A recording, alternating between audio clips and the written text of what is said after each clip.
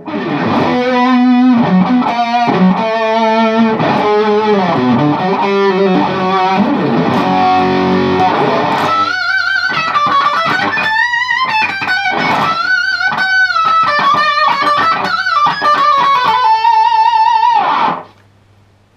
ragazzi e benvenuti a questo nuovo video. In questa puntata voglio parlarvi del Fryer Mayday di produzione. Come sicuramente avete visto nei giorni passati, su Facebook ho pubblicato una foto dove mostravo questo eh, prototipo. Io attualmente ho il prototipo di pre-produzione, quindi rimane ancora un pedale fatto a mano, ovviamente dallo stesso Fryer, ma è la base di partenza per il, eh, la futura eh, produzione di massa di questo effetto.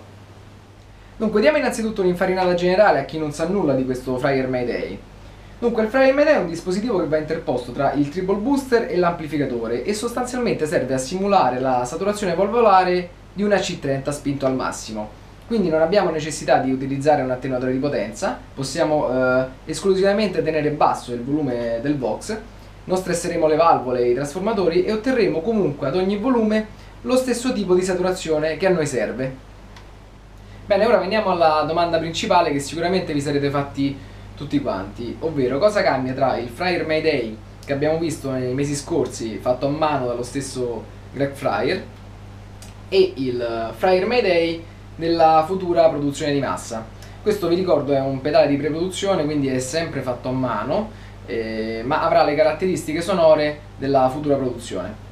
Dunque, eh, come sapete il Mayday è stato oggetto di, di studio e di test eh, per diversi mesi e quindi eh, ci sono stati degli aggiornamenti, delle prove nel backstage, eh, molte cose. E, um, alla fine si è eh, deciso eh, di aumentare il gain ehm, sulla futura produzione, quindi renderlo più frizzante, più aggressivo, per eh, ovviamente rispondere meglio a tutti i tipi di AC30, anche a quelli più, diciamo tra virgolette, tranquilli come eh, output, come, come saturazione eh, sul mio consiglio eh, è stato deciso di eliminare determinati controlli perché ritenuti superflui. E inoltre lo switch del D, quindi il Diki, la simulazione del Diki, verrà eh, sostituita per un booster. Il booster sarà molto utile ovviamente a chi suona anche in, eh, in una band, quindi si trova a fare la parte ritmica ad un determinato volume e per il solo senza andare eh, a fare affidamento diciamo, sul, tec sul, tecnico del suono, potrà esclusivamente switchare eh, questo, questo, controllo e ottenere un boost, non un boost di gain, quindi eh, per aumentare la, la, saturazione, ma un boost di volume. Dunque, poi parlando eh, con Fryer mi ha rassicurato che i mh, precedenti proprietari, eh, cioè coloro che hanno acquistato il Fryer Mayday nella produzione quella fatta a mano da Greg, quindi mh, queste unità sostanzialmente, possono tranquillamente eh, rispedire il pedale a Fryer, mettersi in contatto con lui ovviamente, per poter fare un upgrade del loro pedale, per portarlo diciamo, alle caratteristiche della eh, futura produzione. Dunque una cosa che ci tengo a precisare prima di iniziare il test sonoro è quella eh, che eh, ovviamente come avrete notato il Mayday di preproduzione che ho io attualmente, questo prototipo come layout è identico alla produzione precedente quindi eh, ho ancora il controllo del drive, il range tutto quanto. Inoltre ho ancora il ehm, circuito del, del Diki implementato. Non ho il booster che verrà messo in seguito. Eh, comunque a livello sonoro quindi la pasta, il gain, il tono saranno gli stessi o molto simili comunque a quelli eh, che troveremo nella futura produzione. Farò anche una comparazione tra le due unità il, il, le differenze ovviamente saranno piuttosto evidenti, quindi buona visione. Ok, iniziamo eh, dalla unità precedente, quindi il Mayday che abbiamo visto nei mesi precedenti. Ovviamente ehm, i settaggi su entrambi i pedali saranno eh, messi allo stesso modo, in modo tale da avere un confronto diretto tra le due unità. Iniziamo, come ho detto, dal Fryer Mayday, la versione precedente. Eh, la C30 è messo a un volume molto basso, circa diciamo, un sesto di volume eh, Triple Booster Super e vabbè la danzanna come chitarra elettrica.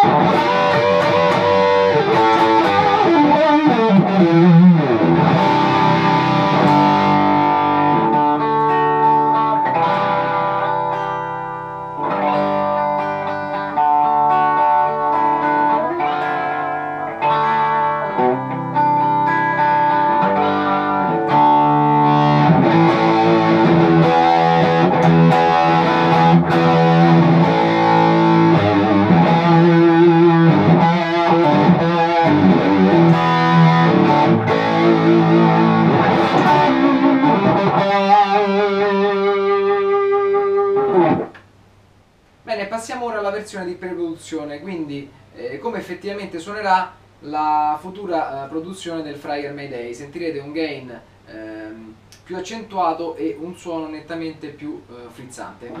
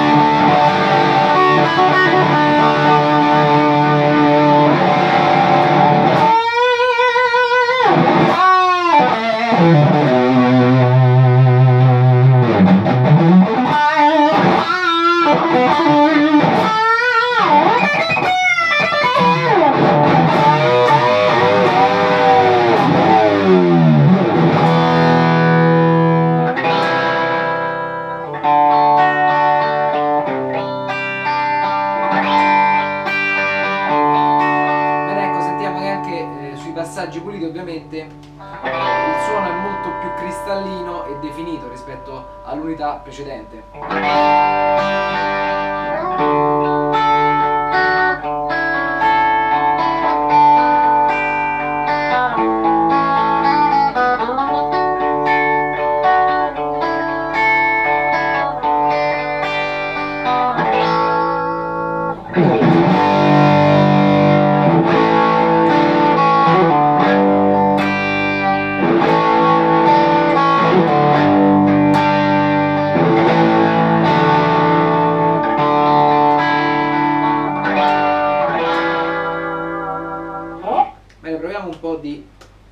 Fuorifase.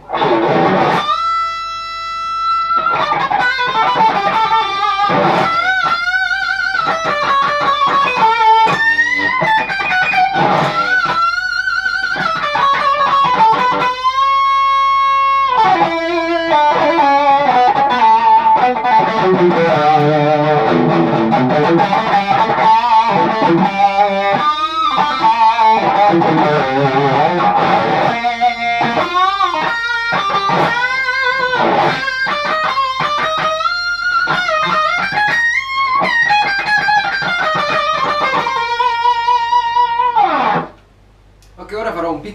test per fare un confronto più diretto. Adesso avete sentito in linea generale com'è il suono dell'unità precedente con la futura unità di produzione del Medei. Ora farò eh, due pezzi di chitarra, sempre con la configurazione di pickup eh, ponte e eh, centrale in fase, prima col volume pieno della Red Special, poi col volume eh, per suoni puliti e metterò i clip ehm, attaccati sul video in modo tale che la differenza sarà netta poiché staccherò da eh, un'unità all'altra. Bene,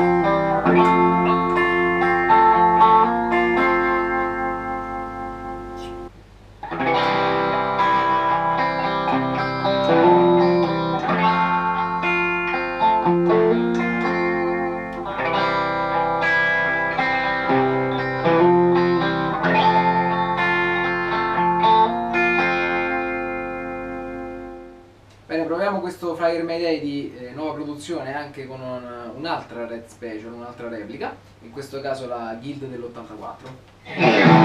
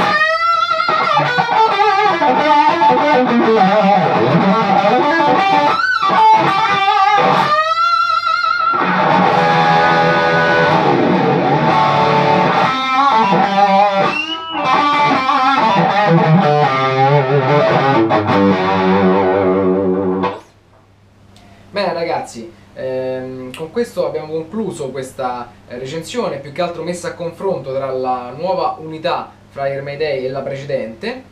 Spero che eh, abbiate colto le differenze, anche se a mio modesto avviso sono piuttosto evidenti, specialmente eh, dal vivo. Eh, per tutte le eh, informazioni tecniche, la data di pubblicazione, le caratteristiche effettive poi al momento di messa in produzione della nuova unità, vi rimando al sito di eh, Greg Fryer, ovvero Fryer Guitars, dove troverete tutte le informazioni necessarie anche per contattarlo, per ordinare un'unità o semplicemente per ehm, fare un upgrade eh, se avete acquistato l'unità eh, precedente. Eh, con ciò vi ringrazio, vi invito a lasciare un commento qui su YouTube se, anche per sentire la vostra opinione riguardo questo dispositivo. Vi invito inoltre a contattarmi anche su Facebook, sulla pagina Brian Italia o sulla pagina artista Marco Gini Marco. Iscrivetevi al canale per ricevere gli aggiornamenti sui nuovi video e le eh, nuove attività. Eh, con ciò vi ringrazio nuovamente e vi do appuntamento al prossimo video.